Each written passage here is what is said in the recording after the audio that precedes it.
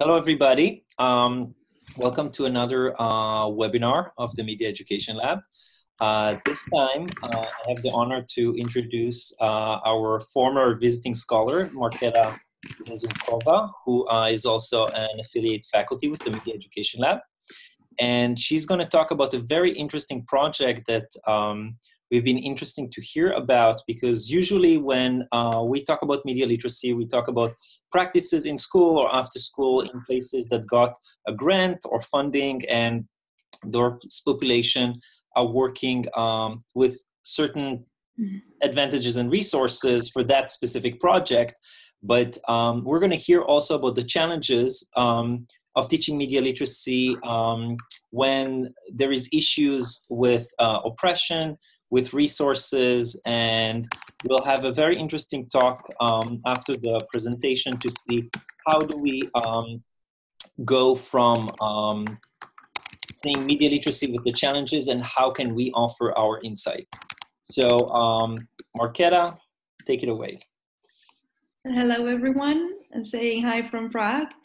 I will share my screen with you and uh, I'll go for a short, uh, hopefully short presentation around 15 to 20 minutes. But if you feel uh, you want to stop me and have a question already, you can, or we can discuss afterwards. So I'll just open it for um, now. And I just muted everybody. So if you want to talk, just unmute yourself so that we won't have background uh, noises. Okay. Here we go. Can you see my screen now? Okay, can you see the presentation now?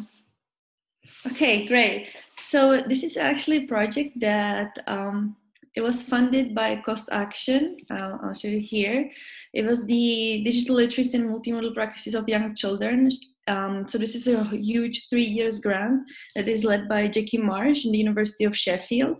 But every year they have a short-term scientific mission that they award to early career researchers so they can conduct a small-scale research for 2,000 uh, euros. So I was the, actually the first round of this uh, short-term scientific mission when I got this grant, and it was last year. And I used it because at the time I was actually moving back to the Czech Republic after doing my PhD and spending seven years in England. So when I returned to the Czech Republic, I um, found very in a way even disturbing the situation of Roma citizens in their country and having been in England and in the US before and learning all about the digital literacy and media literacy projects for different ethnic minorities or cultural minorities or deprived children, I found very interesting that there hasn't been said or researched much about Roma people.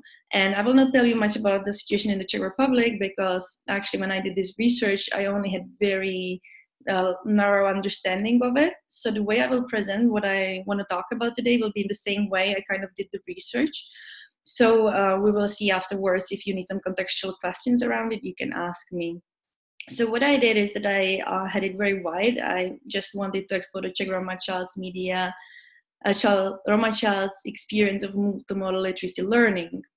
Um, I'll get back to this later. So what I actually did, because it was a small scale research, I normally, those who don't know me, I most of the research I do is primary school children at schools around media literacy and media learning. But this was very different for me because I, um, giving the um, grant that I was awarded to, it was focused on preschool children.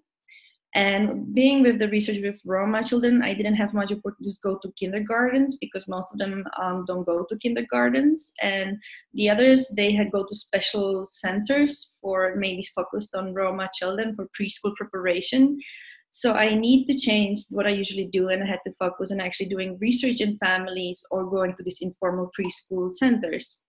So what I did is that I, I, had this holistic and phenomenological approach that rather than doing the literature review before and trying to understand everything and come up with the real research questions, like set research questions, I really wanted to put the child and their experience and the family in the center and just go to the family and see what's happening, what is relevant to them, and explore anything that is connected to education, childhood, and media and learning together.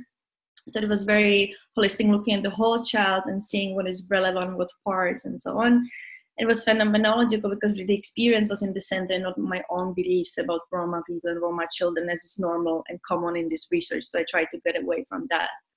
Um, I'll show you what I actually did. So at the end, I got into seven families that they were socially excluded. They, could be classified in a way socially excluded. This was not my intention, but because I worked with the Open Society Fund and with other in, in NGOs, I of course got into the families that were uh, of need of their help.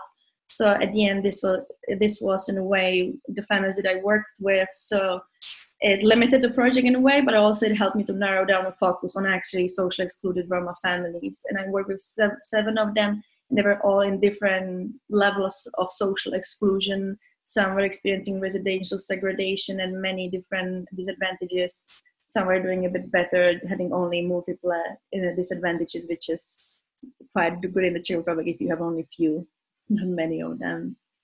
Uh, so um, this research was in a way a bit new for me also that I had to be very flexible. I used multiple methods because I work with the family, the parents, but also mainly the children. I try to work a lot with the children but given that it was preschool and um, it was in their homes and sometimes in the informal settings and i was really not in a power of deciding that every time it was the parents who decided everything.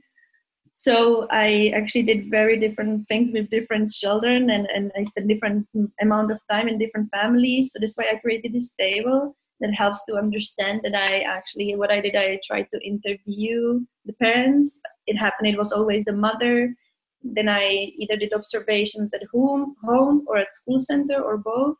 Um, then with the children, I tried to do some short, brief interviews. Or when possible, they gave me guided tours around the center or around their home, and so on. And really, with some parents, I did one interview. With some, I did four or five, and it really was just whatever you, whatever is possibility, I'll just take it and I'll do it but I'll see what comes out out of it. So it was a very new form of research for me as well. Um, so when I say that I did the holistic research, looking at the whole and seeing what is relevant, so I really didn't know what afterwards I will find is relevant, and I wrote a research report after just uh, immediately after my field research last year, and when I actually read it, but it was, it was a research report and just summarized all different themes and coding I did and things about children's media and learning and all that. But what I actually want to talk about today is my latest thinking around the theme because I'm still working with the field, the research that I did, but looking for it in different ways. Because in the beginning, when I finished the research, I thought I would be really thinking about what to say. And when I started saying things, I realized it's not about what I'm saying, but about how I'm saying it. So suddenly I entered this whole new field of I used to be very careful about how I talk about children because that was my field, but how I talk about minority children and Roma minority children, that became really complicated. And when I went to conferences, everyone was really supportive and very interested in the topic, but also very critical about let's be careful about how we talk, how we talk about ourselves, how we talk about the others. And I suddenly realized that there's especially when it comes to Roma and in Europe, it becomes very complicated topic. So one of the things that my latest thinking after about, I spent many months about how I think about the topic. I actually got to the idea that right now I'm writing a book chapter for Nordicom for the uh, edition Digital Parenting. Uh, so this is how I got into the idea of parental ethnotheories. So this is also a new concept for me, and this is the week that I'm actually writing the book chapter. So this is great for me to get some feedback and some ideas from you as well, because um, this topic I think is much closer to many of you than it's actually to me. So with the parental ethnotheories, it's a um, concept that I found while trying to understand the research that I conducted. And as I found it, it could be understood as cultural belief system or cultural models shared by the parents from a culture group okay, I mean, of course, this is important, uh, this is difficult because many people would say Roma is not a culture, it's ethnicity, and it's very hard something to classify. But in general, I found it very interesting concept that I think has not been researched much in context of media literacy or digital literacy, and also in parental mediation and digital parenting, which is actually the topic of the book. So.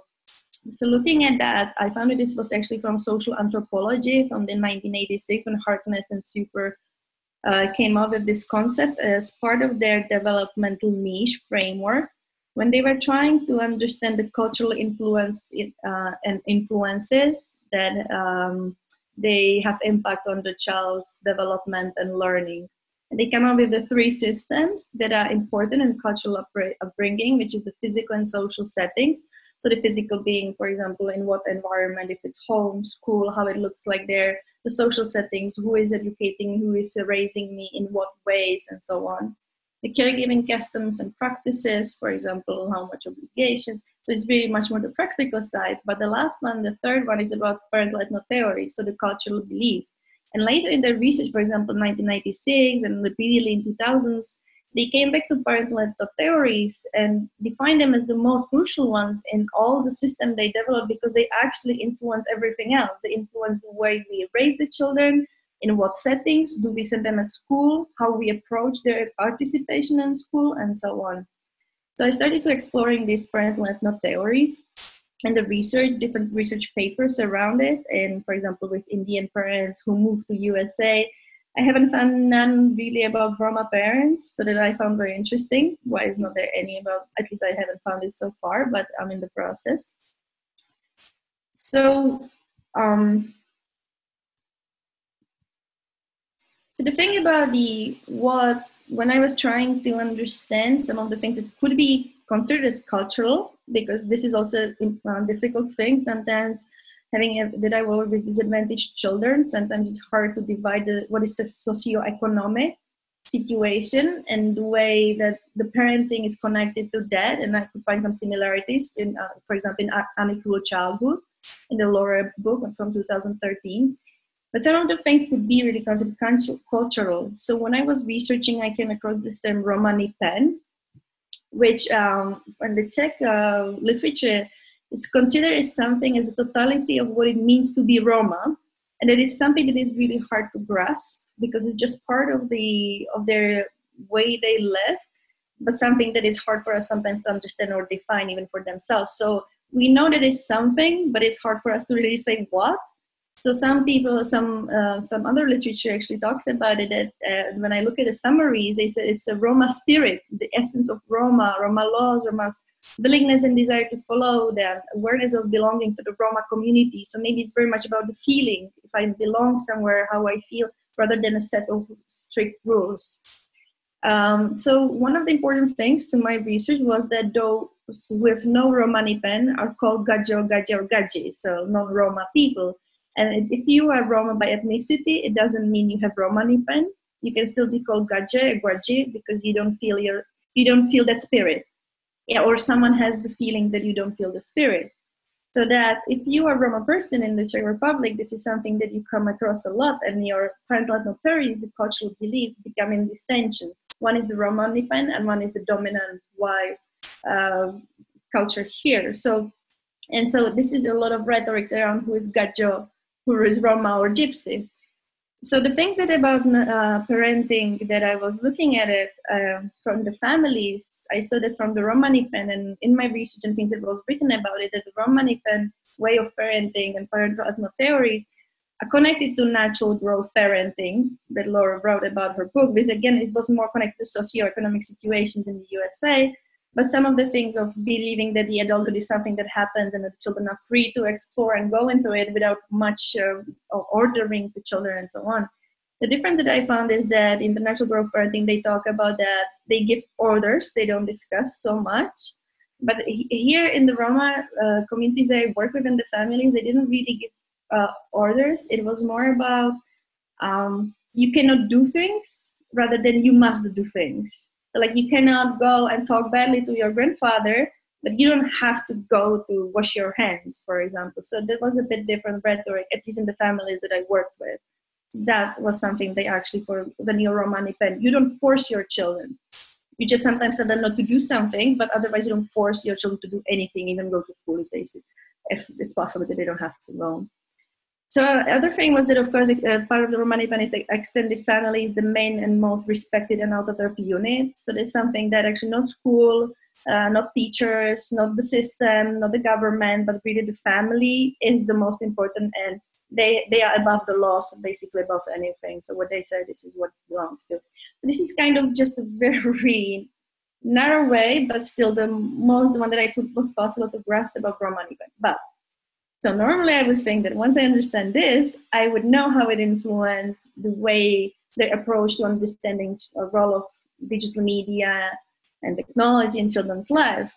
But when I actually did this research and I tried to look at it more in a way that, okay, let's look at it more deeply, I realized there is another issue that I'm dealing with that I found quite interesting. So the thing that really they have a shared cultural experience was that they always had two competing cultural models. So the Roma community, they don't have their own state. They actually don't have a country that they can refer to that this is where our culture is built, this is where we speak the language. There are always other competing models, and the Roma people always the minority. They, they are always the ones that have to compete and have to negotiate what is my kind of understanding of parental beliefs about the children, the childhood, about raising up, about parenting, and what are the dominant ones that I'm living with. And this is something that they always have as a shared experience. I found actually in their parental theories is not so much about Romanipen as it is about negotiating Romanipen with the dominant cultural models and how it influences the way my parenting. And now, although it wasn't um, case study research, I have three families that I took out from the seven that are representing some ideas that I would like to share with you. Again, I will not go much into the detail. Let me see what time is it. I'll spend like three more, five more minutes, and then we can discuss. So I wrote the quotes here, and I will share the presentation with you later on if you want. I will not read them much, but I want to show you these three families. Okay, so this family is uh, family number three. Later on, if you want to back, go back to the table, and this is Elena and she has a girl, six year old, and boy, seven year olds. Um, let me just see, I have it here. So, um, Alena was actually client at one of the NGOs that I researched with, where they gave me the contacts to the families. But now she worked as a social worker in a preschool club for children. Uh, actually, his story was, her story was about that they were both working parents, and she worked in the segregated community. But when she started working with the NGO, she decided she would like to move out of the community and give their children different chances. So when she started actually doing it, she had difficulties to find a flat. So, uh, but luckily the NGO helped her, helped her, so she moved out of the community. But then what was very interesting because she started telling me that uh, for two, three years during this transition, I did not belong anywhere. There was nowhere I was accepted except by the people the organization. So suddenly she faced the idea that she wasn't accepted by the Roma community anymore. They started calling her Gajo or Gaji because she moved out of their community and she didn't share the, the values they believe. But at the same time, she wasn't accepted by the minority because she was still Roma. Although she moved in the city center, she was very well behaved citizens and so on.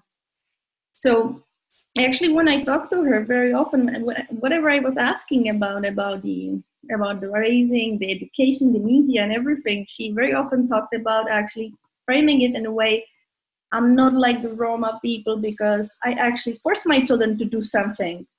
Or, or she said, uh, I don't teach my children Romani language because it will not help them with anything. So it, it's something useless. It's better to teach them English or something that will help them in the future.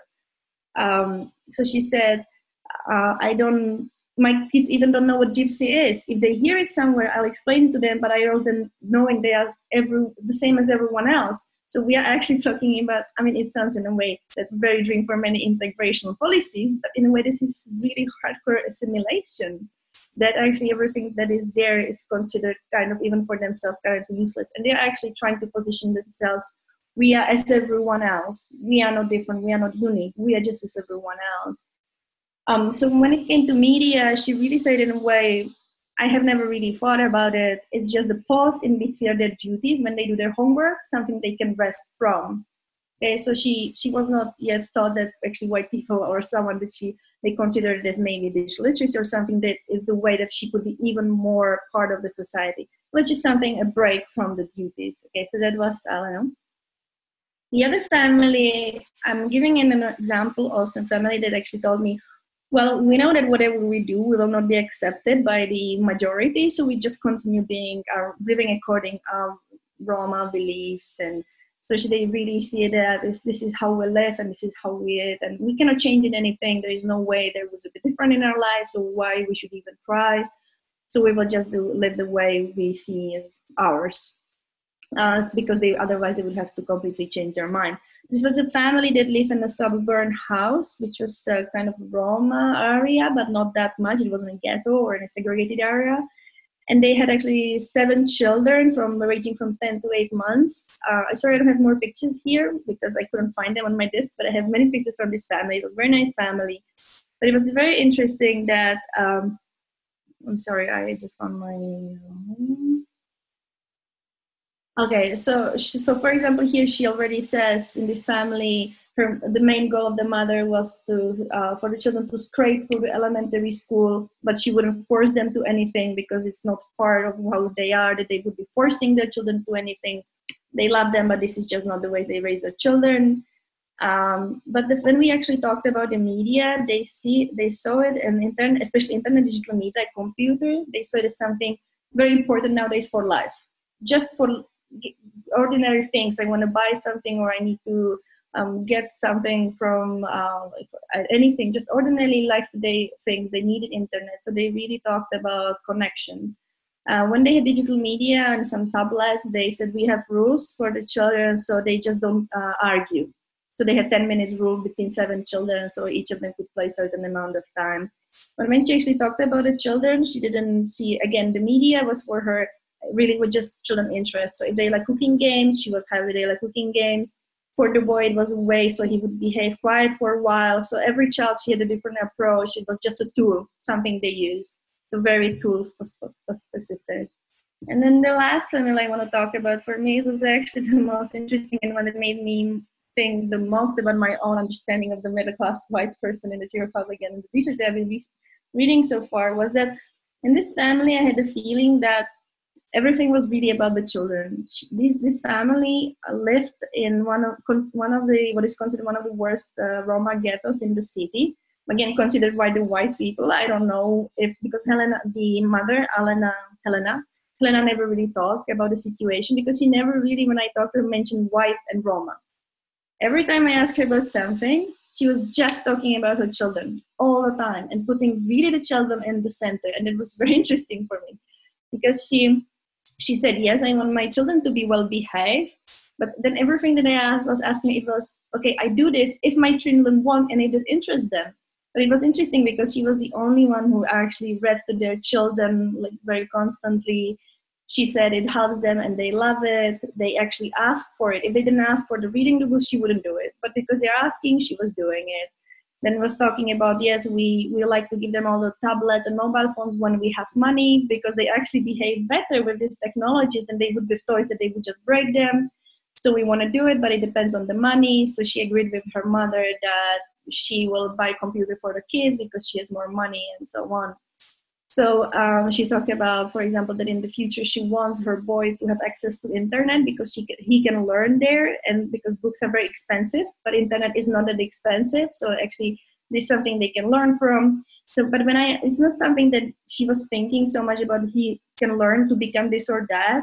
When she talked about him that he can learn, it was actually because when I talked to the boy, he told me that he likes learning that he actually doesn't like school because boys are fighting there because he went to the mainly Roma school and he said I don't like it because boys are fighting but I actually do love the education. I love the curriculum.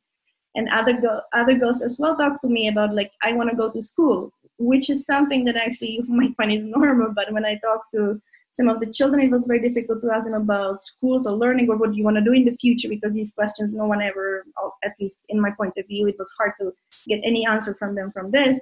But these children were actually they they really naturally interested in learning and she was naturally trying to help them and she needed internet and media and technologies to support this and she struggled with the access.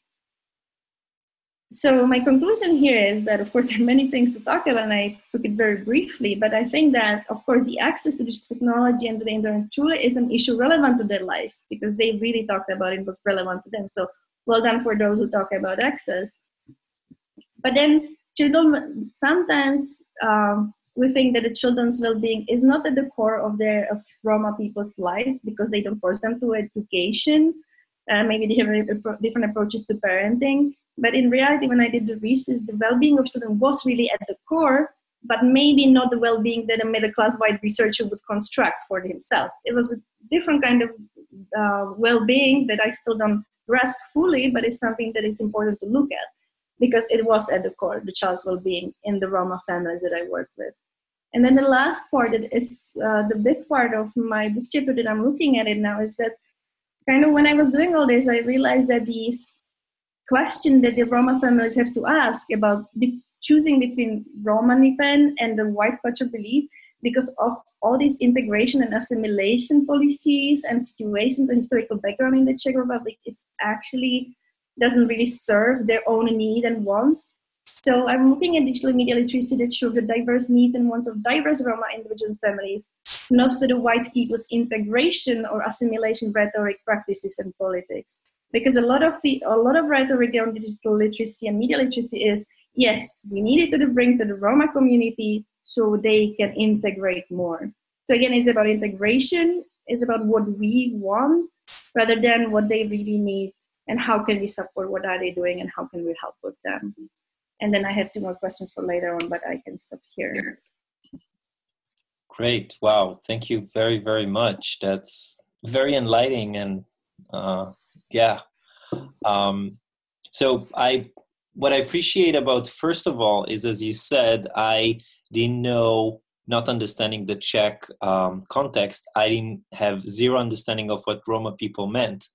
Um, and then really as you walk me through, I'm understanding more and more and, and understanding the context and it sounded like it was like the process that you went by it.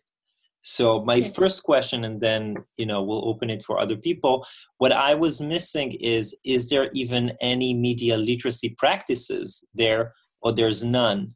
Just to understand when you say that there is a different media literacy from the middle class in the czech republic is there any even programs or something that you relate or how is the situation with media literacy there to understand your research Yes, so so far I haven't found any um, in any after school programs or anything specific for Roma children and Roma youth. Uh, what we have in the Czech Republic is that part of the national curricula, you are actually uh, we have the cross curricular theme of media education, and every primary and secondary and high school are actually obliged to teach media education. But of course, it's not happening that much even in uh, in schools where they are in diff- different areas, but school serving actually these children possibly even much less. Uh, currently, there is no research into it, but I've actually submitted a research grant in March, and I'm waiting until December to hear about if I will get the research grant, which is called, which is for three years, and it's about media literacy in life and education of socially excluded children. So it's not only Roma, but also poor children which are socially excluded. So that would be the first research into this here. Wow. Amazing. Yeah, I haven't got it yet. I don't think I will, but.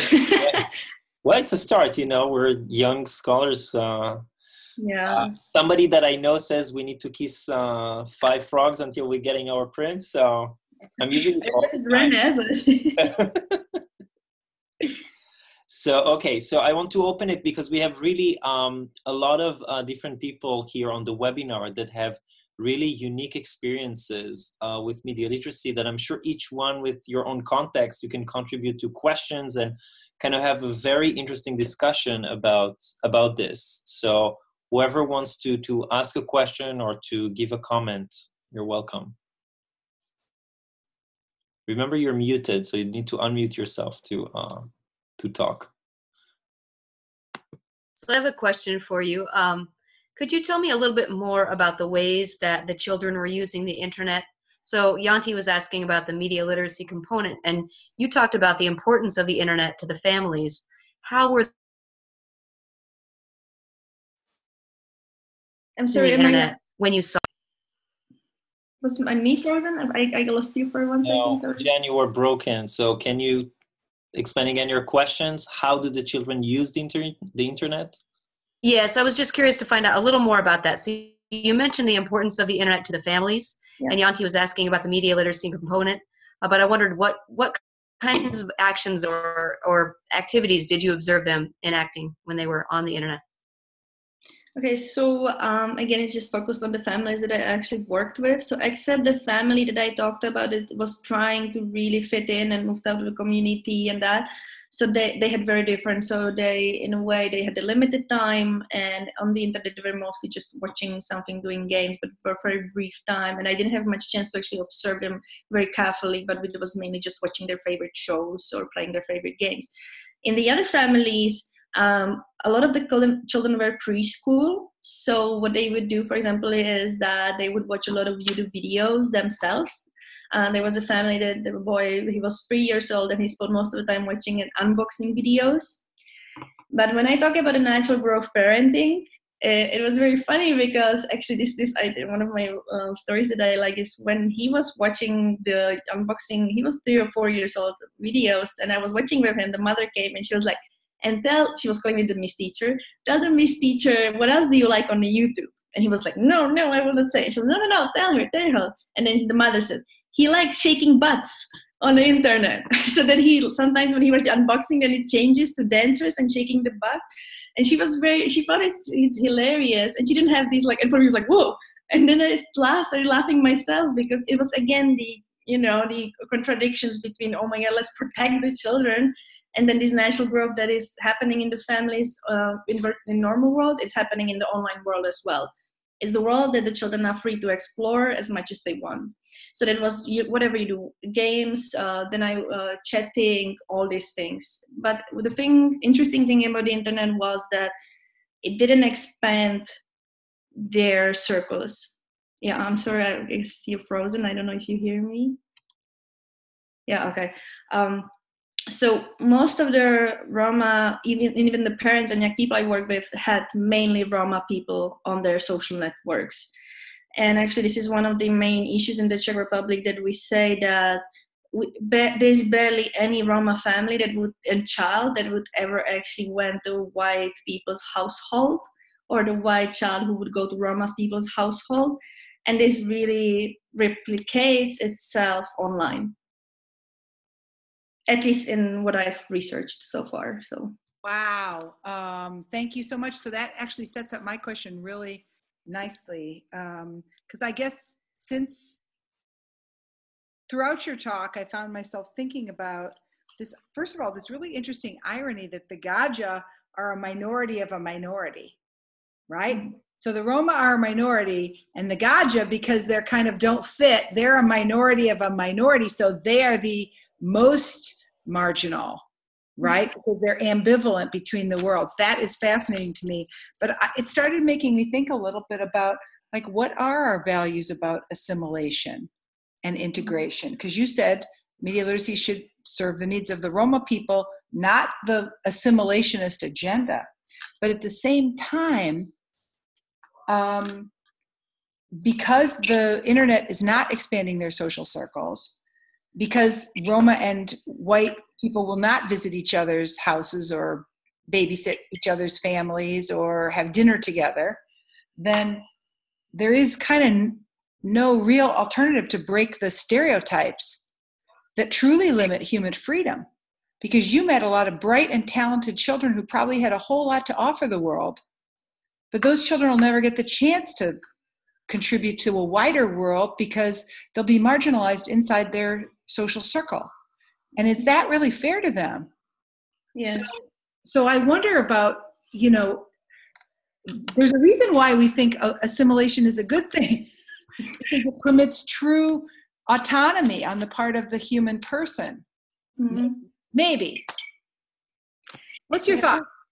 I think the difficult part about the assimilation, as I talked about it in the Czech Republic, is that there was there has been for decades the idea that don't teach romani language because it's useless. It will actually make the children to do worse at school. Um, you know that that really the idea that anything connected to roma is useless or that you should be ashamed of is very strong rhetoric in the czech republic.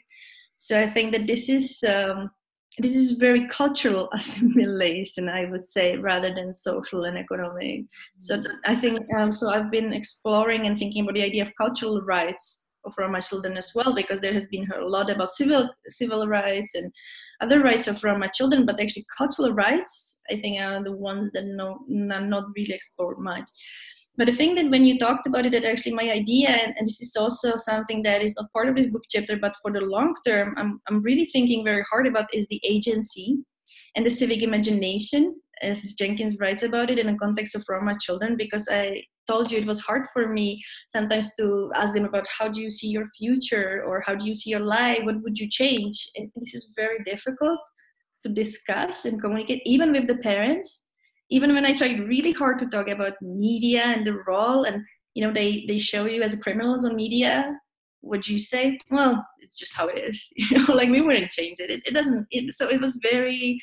So I think that what I found that there's it's such a such a deep problem that first of all they we have to learn about each other from both sides and get better understanding of each other. So that's one thing, and the other thing is really help maybe the media literacy, media education at the first place have to somehow i was that's my question. Can actually media literacy and digital literacy help these children to find their agency and help them with civic imagination? Especially given if fatalism is so built into the cultural fabric it's fatalism is the opposite of agency right? Yeah. Whoa.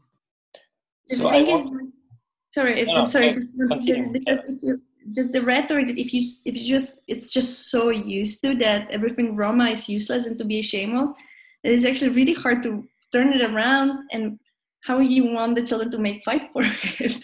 you know, like because if you see a country where people speak your language and they live their culture, you might say, well, this is where I want to live, or I want this here where I live, but they don't even most of the time don't have where to look.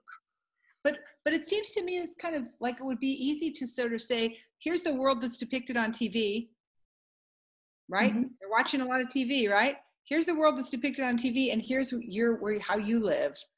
What's similar? What's different? Mm-hmm. Right? So the, the kids have to be picking up on. They're learning from that entertainment TV, right?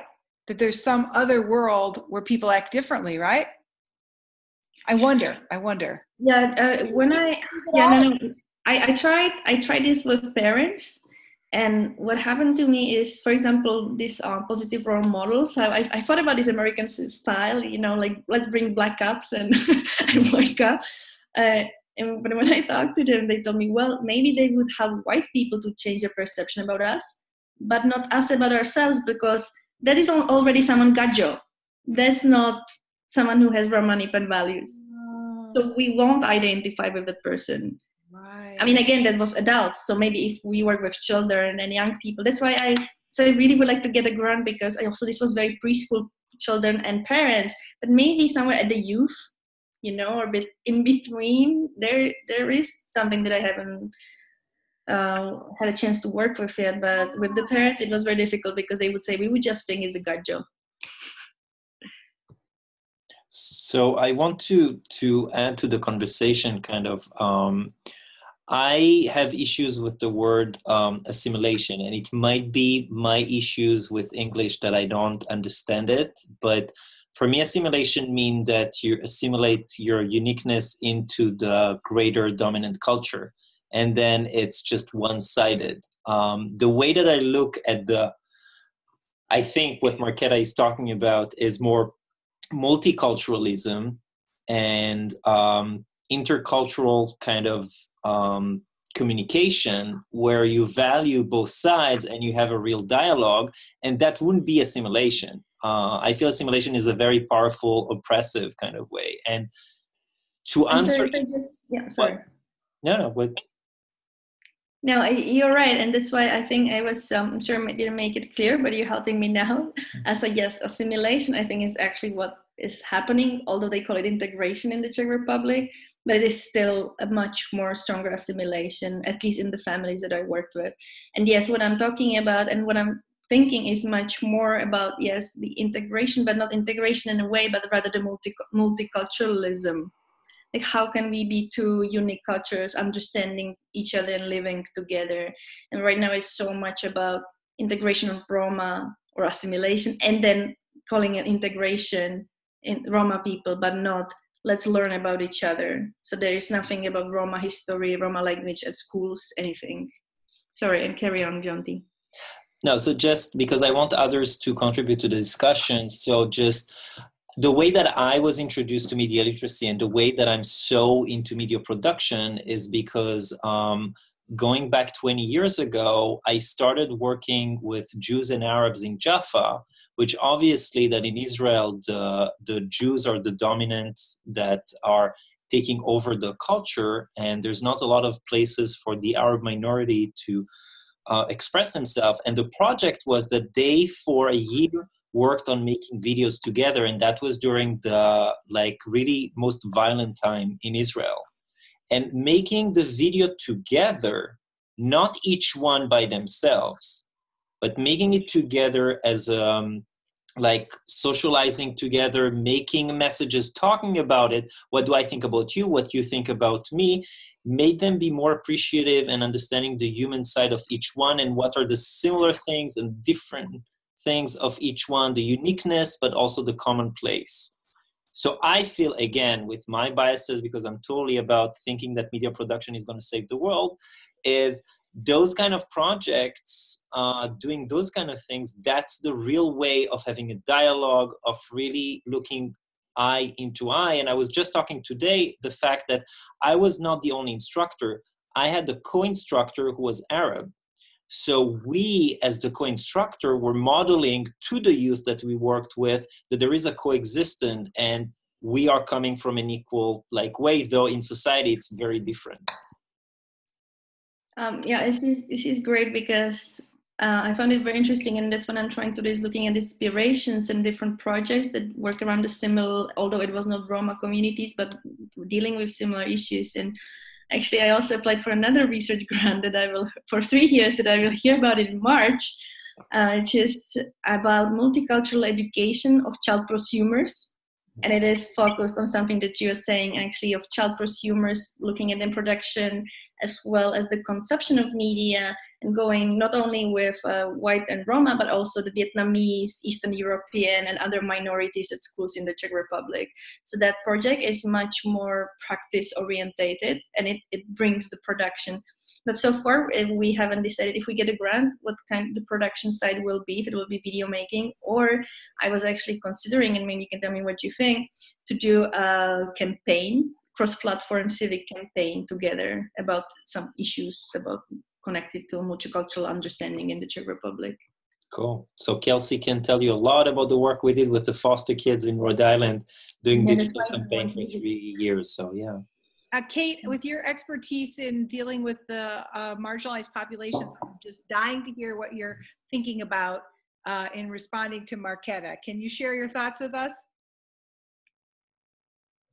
Oh, I'm just taking it all in at this point. Um, I I recognize Marketa. A, a, lot of your observations are in line with my work. Um, what Renee is referring to is that I was previously in Sri Lanka, working with Sinhalese and Tamil youth, mm-hmm. um, and and trying to to research their usage of social media. And this was already back a few years ago, but especially the way they consume um, YouTube videos seems to be very much in line still with what you're describing, even down to it reminds me particularly of one boy who he just liked watching videos of fat kids dancing, let alone it reminds me of the shaking of butts. um, one little question that I have that didn't come up, and it sounds like they're watching TV media, YouTube video, YouTube video media. What's the main point of access for the internet, or is it traditional computers and television screen monitors, or or is it the cell phone? Mm-hmm. So what I experienced in the Roma family is that that every family is uh, what we call the TV wall. Like that is very important. That what it used to be this family uh, or the gathering around TV and uh, that was disappearing from kind of our cultures. Um, that was still very. Every family had it, no matter how the socioeconomic situation was. So the TV was very important, and they consumed different shows and everything. And um, it was the main probably it was in every family. And the TV usually doesn't disappear. Didn't disappear. The other uh, technologies like um, touchpads and smartphones and smartphones most of the time stayed for the parents for the kids, but the uh, smartphone for kids and the touchpads that was depending on the immediate situation. So most what was happening a lot of the families was that when there were money they had it for a few days a month, but then for the rest of the money it was in the pound shop. Um, so that was very dependent on that. The computer uh, was that's really hard to say. Some families it was, some it was new, some it was all. Um, that was not yes. The kids themselves had the access more at school or at the library, so the libraries were very important. But again, they they had issues with the libraries as well. I heard about uh, the library. The city did research at the library. They opened this technological center with PlayStations and internet and, and computers and everything, and it was all the time full of Roma children so instead of ha- having some supportive for the Roma children, seeing it as a good good place to do any project, they actually took it away so they wouldn't have to deal with the Roma children. So, uh, and they complained about it that they were too loud and then. Oh my god! so um, so there's some. I mean, then they of course that I think that there were some complaints, some projects around it. So they they started to seeing a library is important touch point, but I look at it last year. And so far, I haven't really seen any projects around it, but I did think that the library might be a good touch point for the children. But again, this is the practical.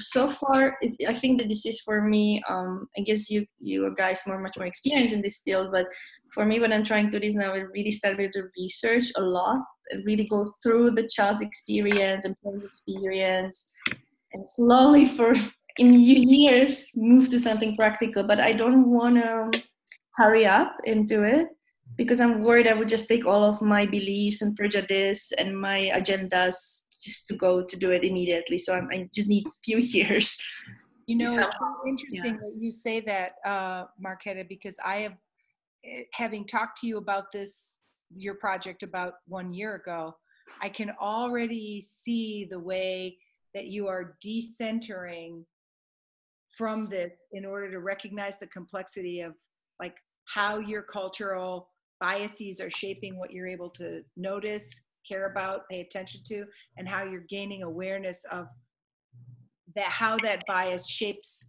the nature of your research. And i think it's a really cool idea. I personally think the parental ethno it's a terrible word right?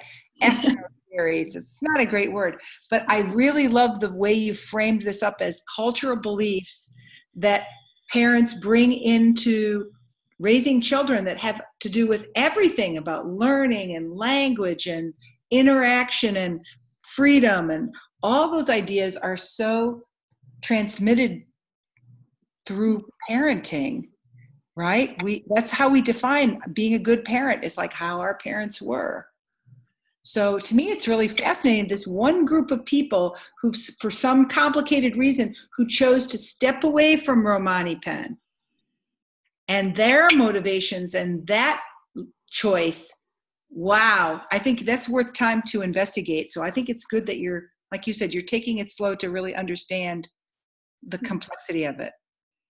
So maybe if you others can share your experience with it, if you research some other cultures that are not your own, you haven't had a good knowledge about, so how you went around it. Like, I have a story about it. Uh, when I was in Philadelphia, we interviewed uh, 50 um, Latino families in North Philadelphia. Um, we recruited this a group of people through the uh, church in the neighborhood and the cultural organization in the neighborhood. Uh, at the time, I was really interested in this question about how well people understood public service announcements, which, as you guys all know, is a beneficial form of propaganda. right? Depending and, to whom. yeah, depending to whom. So we went in and we we showed. It's terrible to say this, but we showed public service announcements that were produced by the smoking by the tobacco industry which were highly biased public service announcements. And we discovered that um, uh, people with without formal education uh, are not really good at asking questions like who's the author and what's the purpose? Those questions are absolutely uh, elusive. And quite a large number of people in the study misunderstood the purpose because they didn't uh, because their understanding of who made the ad and what the motive was was fuzzy. Um, but i'd say the challenge for us was we had to do the interviews in spanish and i know there was a lot of slippage there. Uh, the video wall it was hard to do the interview because they never turned the tv off right? So there you are in the living room and the you know you're it's a tiny little place right? And the giant giant wall media is screaming at you and you're trying to have a serious conversation. I was like i don't know. It's not easy. So I wonder if um, or Hajar, if you have any uh, questions or comments um, for Marketa.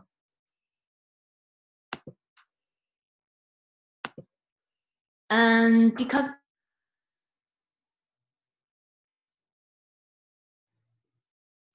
turn your microphone on i can't hear you okay, can you hear me now? Yes.